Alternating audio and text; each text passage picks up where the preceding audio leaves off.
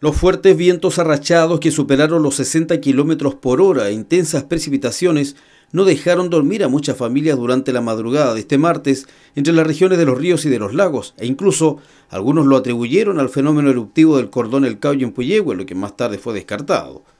Hubo cortes en el suministro eléctrico según la empresa eléctrica debido principalmente a la caída de postes y cables como consecuencia de los fuertes vientos registrados desde la noche del lunes.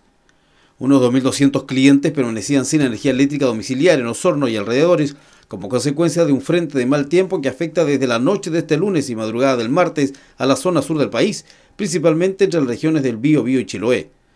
El informe entregado por la empresa eléctrica Saesa señala que son 600 usuarios afectados que corresponden a La Unión, otros 600 sectores de Chuyaca, en Osorno, Manuel Mon, San Pablo, Centinela, Puerto Fong en la comuna de Puerto Octay y en respectivamente. En Valdivia, en tanto, el número de afectados alcanzaría los 2.800 clientes. La caída de árboles provocaron cortes en el tendido eléctrico debido a los vientos estimados entre 50 y 60 km por hora, acompañados de intensas precipitaciones. Según meteorología, de las últimas 24 horas cayeron más de 20 milímetros. La empresa SAESA informó que ha estado trabajando con cuadrillas especiales para solucionar el problema de corte de suministro eléctrico que según se estableció se ha ido superando paulatinamente.